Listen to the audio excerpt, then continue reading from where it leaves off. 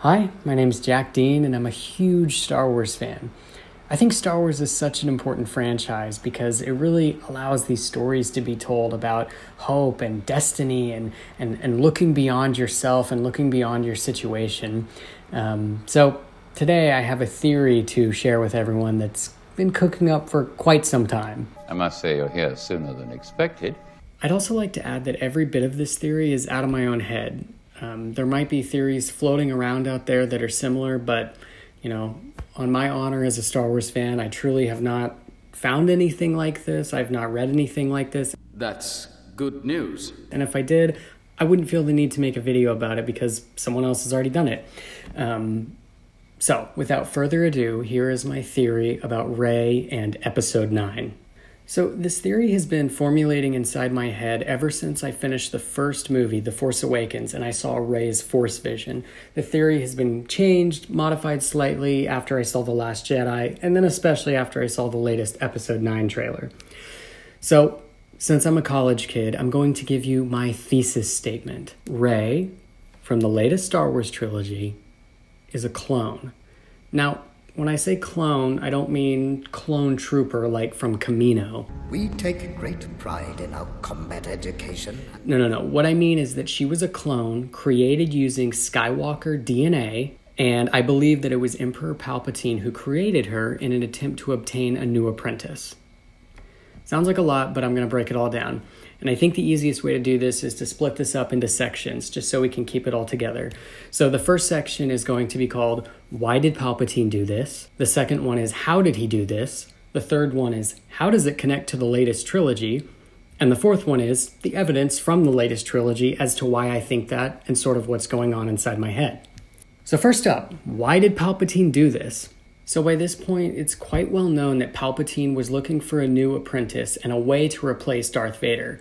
From the moment that Anakin was defeated on Mustafar, Palpatine knew that he would never be as strong as he once was. Vader served Palpatine well for a time, but toward the end of his life, it became clear that he needed to uh, switch things up, get Vader out of there, get some new blood in. This is especially clear in the fight between Luke and Vader in the second Death Star. Take your father's place at my side. Not only that, but Palpatine has done this before. Kill him. When Anakin and Count Dooku are fighting, Palpatine encourages Anakin to kill Dooku, and so that Anakin can come in, take his place, and become the new apprentice. So this isn't out of line of what Palpatine does. So this is kind of why I think Palpatine would be working on replicating Skywalker DNA. He knew Vader was getting weak, he knew he needed someone new, so he started toying with the idea of making something new.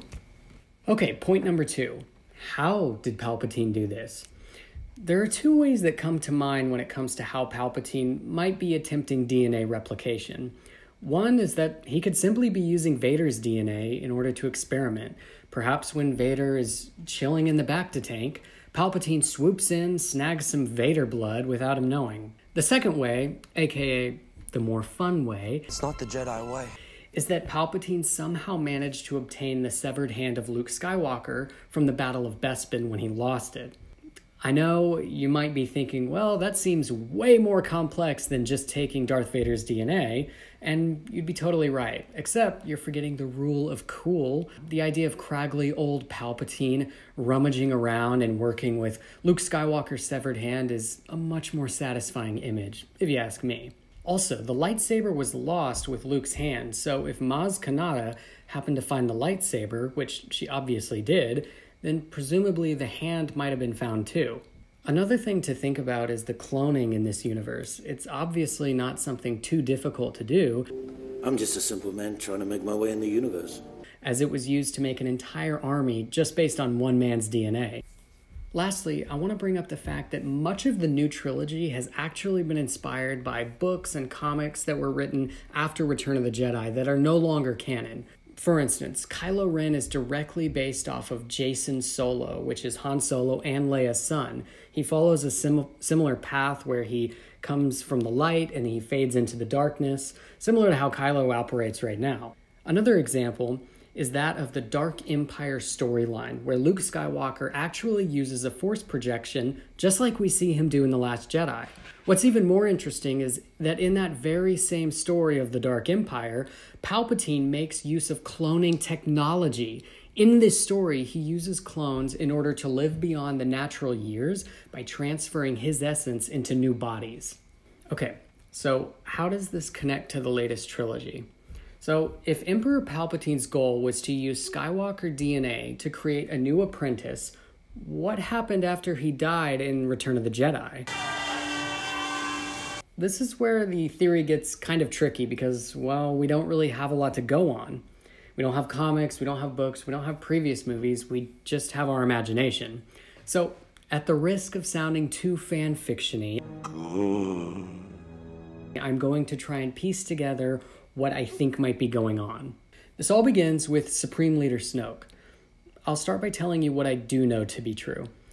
There's absolutely a connection going on between Palpatine and Supreme Leader Snoke. For starters, they obviously were both in charge of very similar empirical structures.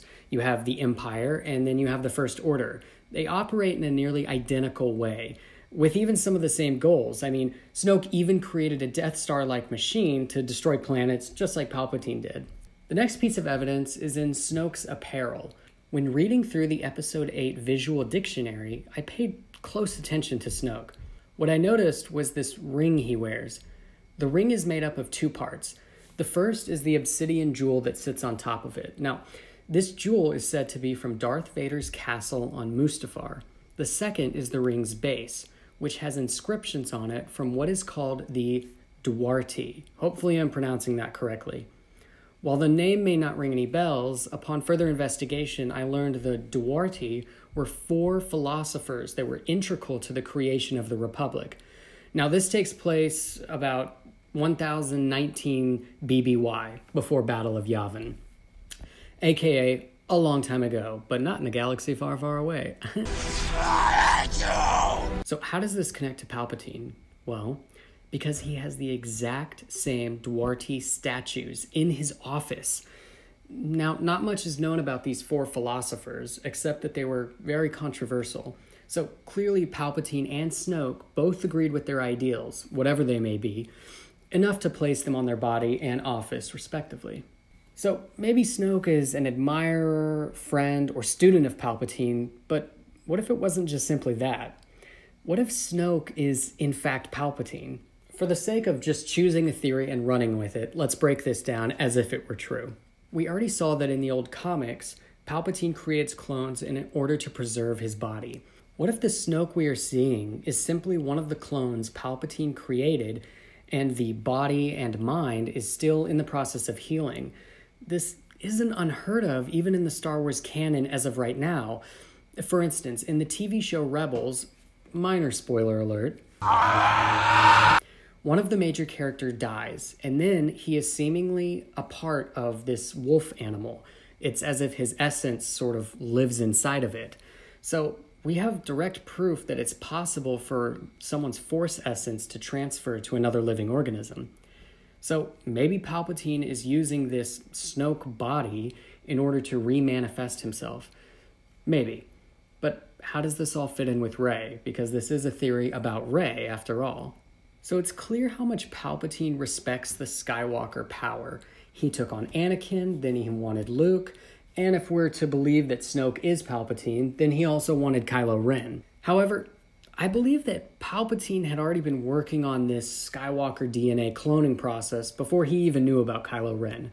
My theory is that Palpatine created clones of the Skywalker DNA and sent them randomly all over the galaxy. There's this particular line in The Last Jedi where Supreme Leader Snoke says, Darkness rises and light to, to meet it. So, was Snoke slash Palpatine simply waiting for one of the clones to rise and fight the First Order? I see this as sort of a test that Palpatine slash Snoke was creating for all of these clones they spread out throughout the galaxy in order to have the strongest of the creations rise to meet the challenge of the dark side. All right, point four evidence from the new trilogy. In The Force Awakens, Rey has that iconic Force vision where she touches Luke's lightsaber. The reason she may be seeing all these Skywalker memories is because she herself has that Skywalker DNA and is capable of accessing that. We see memories from Luke and Bespin, and we even hear Obi Wan saying, These are your first steps. Perhaps this was uh, sort of briefly tapping into one of the memories of a younger Anakin Skywalker when he was first learning to become a Jedi. Next piece of evidence is all Rey remembers of her parents are them flying away from Jakku. Was that Palpatine simply leaving her on that planet to either rise or die? This also makes me wonder if that boy on Canto Bight at the very end of The Last Jedi could be a Skywalker clone DNA thing too? Next, Rey has this unique ability to connect with Kylo Ren through the Force. But this is not the first time it's happened. This has actually happened quite a few times before. Luke connects with Vader at the end of Empire Strikes Back. Kylo connects with Leia in The Last Jedi. Luke reaches out and connects with Leia in The Last Jedi as well. You notice anything? Yeah, you do. All of these have Skywalker blood. So the ability for Rey to connect with Kylo kind of tells me that they share that Skywalker blood in some way. All right, next. In the latest Star Wars Episode 9 trailer, we got a lot of new information. What stood out to me was the fact that the trailer ends with the team looking at the fallen Death Star, the last place Palpatine was seen alive. Perhaps they were going there to discover something about Rey's past? What, what if they get inside and they find this chamber with unused clones and bacta tanks, all containing Skywalker DNA? Not only that, but we can hear the laugh of Palpatine at the end.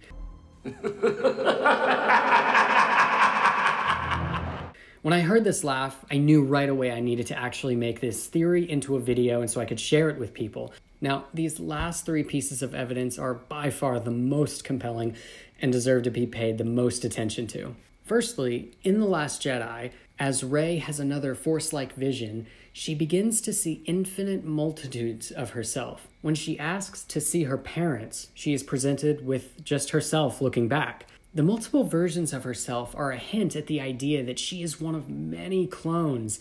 She's presented with herself because she has no parents. She's a singular entity created by Palpatine. Second, the original script to The Force Awakens actually had Luke Skywalker's hand and lightsaber floating through space. The lightsaber would end up landing on Jakku. Now, although did, this did not make it into the final film, it's clear that the writers were toying with this idea of Luke's hand and potentially his lineage and DNA. Lastly, in 2017, part 25 of a huge Darth Vader comic series released. This comic focused only on Vader traversing a force vision of his own. In this vision, he leaves his body and begins to walk through sort of the story of his life. During this, it is officially revealed that Palpatine did, in fact, put Anakin inside of Shmi Skywalker's body. Palpatine tells this iconic story about Darth Plagueis, which was Palpatine's old master. In the story, he tells Anakin that Plagueis had the ability to create life. This is kind of what connects it all together. Palpatine, I think, has had this ability to create life for a very long time. Rey is just the next iteration of his creation more powerful than Vader and Luke. To wrap things up, I also want to point out the new title for episode 9 The Rise of Skywalker. Now, the producers have gone on record that saying these nine movies are the Skywalker saga. This further supports my claim about Rey being a Skywalker, but again, not through birth. Why else would the name of the final movie be called this? Yes, Kylo is a Skywalker, but he's not the lead. Rey is. Therefore, I think that title is referring to her. Finally, to talk a little bit more about the title, my dear friend Jake Lynn asked me if the Skywalker in the title is referring to a, a new age of Force wielders. This immediately had my head spinning, so I began looking at past titles. So, what do we have? The Return of the Jedi, Revenge of the Sith, and now it's The Rise of Skywalker. George Lucas has gone on record saying that Star Wars is like poetry, it rhymes. So if they rhyme, mm-hmm. every stanza kind of rhymes with the last one. And although Lucas is not a part of this new trilogy, his visions persist. Many of the old team is still working on the film, and J.J. Abrams is clearly a big admirer. So, if this is true that Star Wars rhymes, we have Return, Revenge, and Rise. Now, the first two of the titles end with factions Jedi and Sith. What if, as Jake mentioned, Skywalker is referring to a new faction somewhere in the middle of Jedi and Sith? A Skywalker was always destined to bring balance of the Force. All right, so I know I brought up a lot of points, so I'm going to leave this image on the screen so you can reference back to it. All right, and that's it. Uh, to anyone watching, thank you so much for checking this out. Uh, I really just felt the need that I needed to make this theory video because uh, I really think I'm onto something here. But um, I really would be interested to hear if anyone has something to add to that or if they think I might have had a discrepancy. Anything at all, just let me know. Um, and thanks so much.